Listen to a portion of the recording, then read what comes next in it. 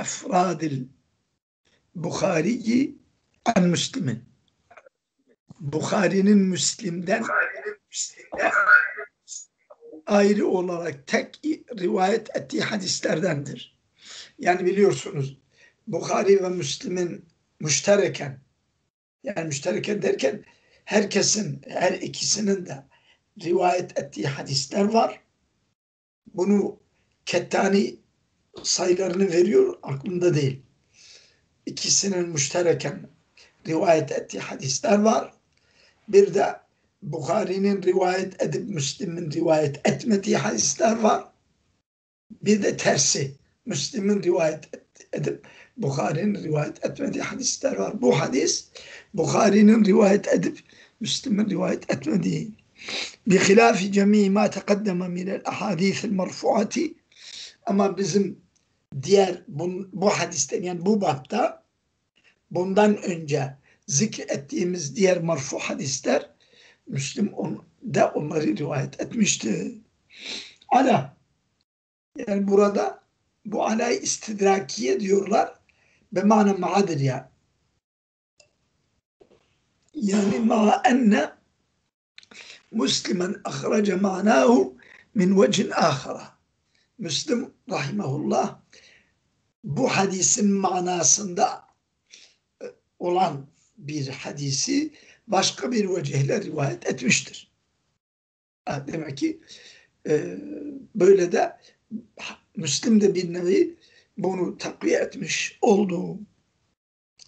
Ve zade İbn Hibban ve hakim fil müstedrak min hadisi min hadisi Enes'in sahihan o Enes'in sahih hadisinde ikisi şunu ilave etmişler. El mu'minu men eminehun nasu. Mümin kimdir? İnsanların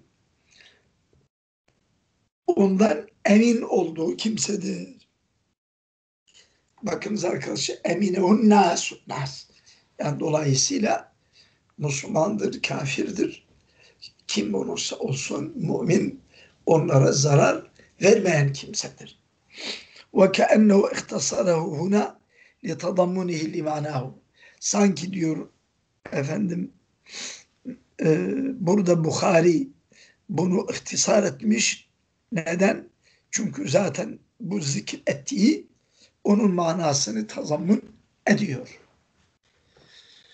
Veya Bukhari'nin radıyallahu rahimahullah rivayetinde bu el mu'minu men eminehu nas cümlesi de olmayabilir.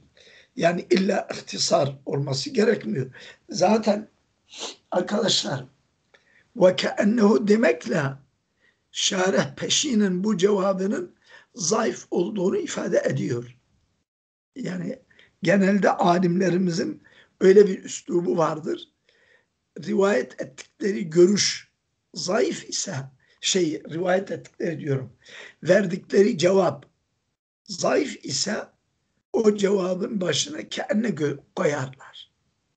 Ve keenne dolayısıyla ce cevabın zayıf olduğunu gösteriyor.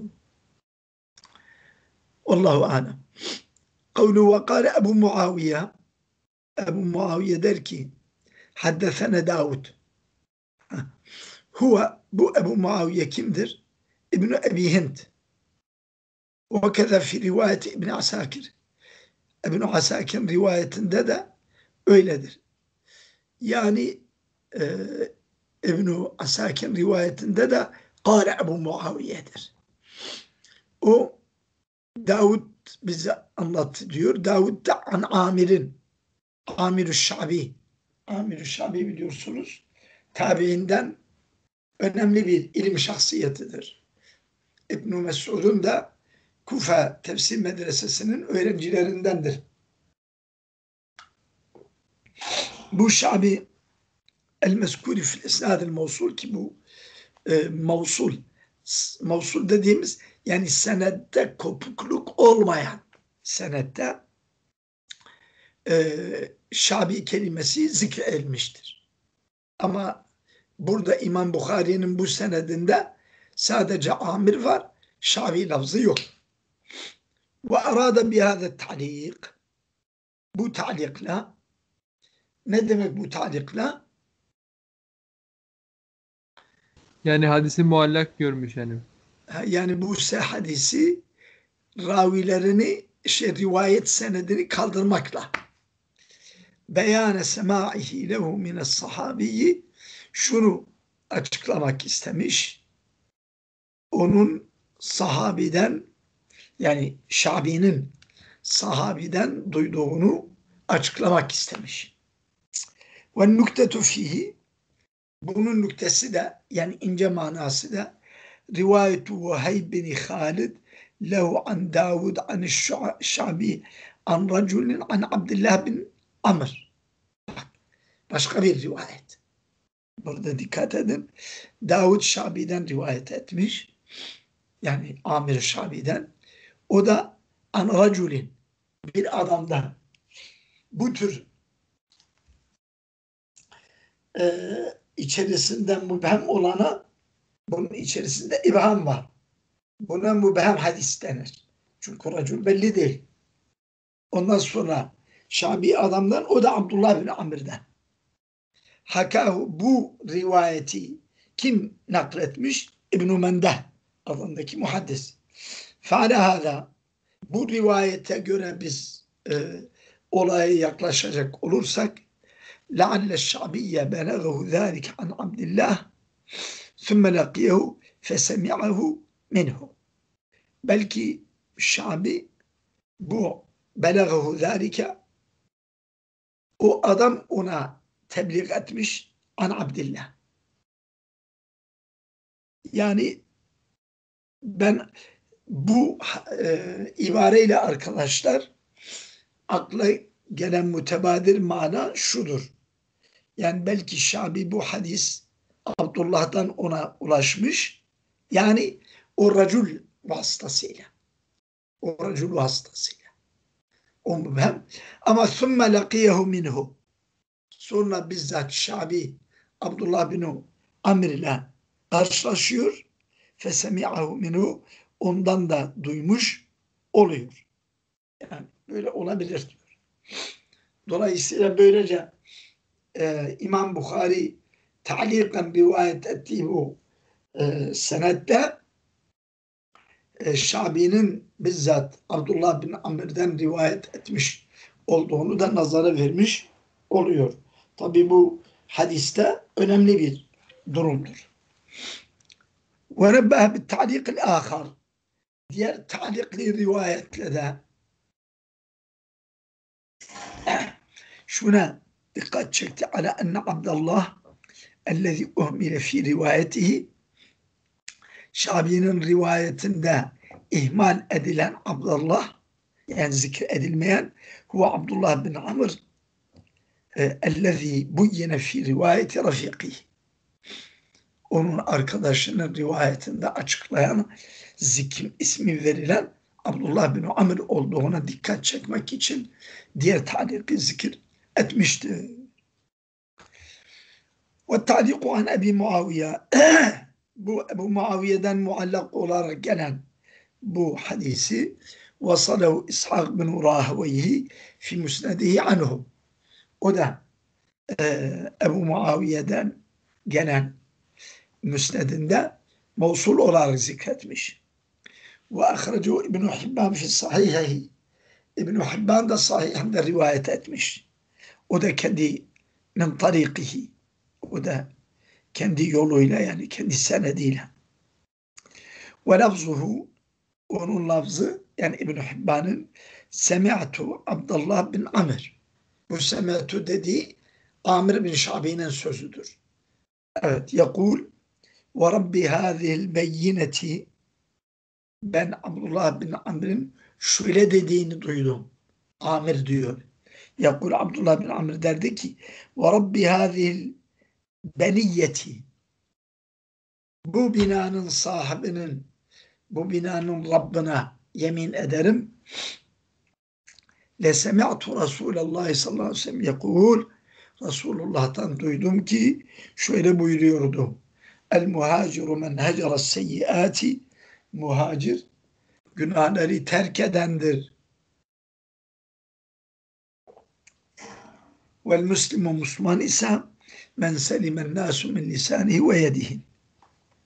Öyleyse feulime bu e, İbn-i Hibban'ın sahihinde yaptığı bu rivayetle de e, şu anlaşılmış oluyor ki ennehu ma arade illa aslal hadis. İmam Bukhari sadece hadisin aslını rivayet etmek istemiştir. Onun için muallak olarak zikir etmiştir. Vel muradu bin nasi huna el müslimun kema fil hadisil mevsul. Mevsul hadiste de geldiği gibi Nas'tan maksat Müslümanlardır. Çünkü mevsul hadiste el müslimu men selimel müslimune demiş. Fehumun e, peki niye onlar nas ifadesiyle tabir edilmiş? Çünkü fehumun nasu hakikaten andel itlak. Mutlak olarak zikir edildiklerinde nas'tan Müslümanlar kast ediliyor. Neden? لأن الإطلاق يحمل على الكامل. Çünkü bu kaideyi geçen derste de zikrettim. İzâ zükire şey'u mutlakan insarif alel kamil. Ona işaret ediyor. E ve la kemale fi gayril müslimin. Müslüman olmayanlarda da ve Müslüman or, Müslümanların dışındakilerde de hiçbir kemal yoktur. Yani kafirin, münafıkın, müşrikin, Yahudinin, Hristiyan ne kemali olur. Ve yumkinu İbn-i Hacer ikinci bir yorum daha getiriyor. Hamluhu ala umumi. Nas lafzını umumiliği üzerinde de bırakabiliriz. Yani ala iradeti şartı. o zaman bir şartı takdir edeceğiz. El müslimu men selimen nasu min lisanihi ve yedihi illa bihak. Dolayısıyla e, bu illa bir hakkın kaydını koyduktan sonra buna kafir de girebilir. Yani kafir de haksız yere Müslüman ona eziyet vermemesi lazım. Ma enne ki Bukhari rahimahullah şey e, İmam İbn Hacer buna e, ilave bir takrirde bulunuyor ki haklı olarak e, şunu diyor ma enne iradete hâze şartı bu şartın iradesi yani illa bir hakkın şartının takdiri mutaayyinetun ala kulli hale. Her halükarda gerekir. Yani bu şart takdir etmemiz. Neden? Lima kaddemtuhu çünkü daha evvel ben diyor zikretmiştim.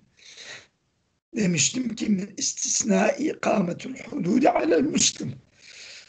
Müslümana hadlerin uygulanması burada istisna edilir. Yani Müslüman bir haddi mucib bir şey yaparsa elbette ona had uygularken eziyet veririz ve haddi uygulayan kimse kadı midir veya kadının belirlediği kimse ise günahkar olmaz. Çünkü hakkıyla yapıyor. Dolayısıyla bu ennas yani istersen el müslimune olsun hadisin lafzı. İstersen ennası olsun. İster ennastan Müslümanı kastedin, ister an bırakın. Her halükarda bu illa bir hakkın kaydı orada mukadderdir. Vallahu subhanahu ve teala a'le ve ecellu ve ekrem. Evet. Burada duralım mı arkadaşlar? Duralım. Yeter. Cezakumullah hayran kesiren. Eyvallah. Efenallah.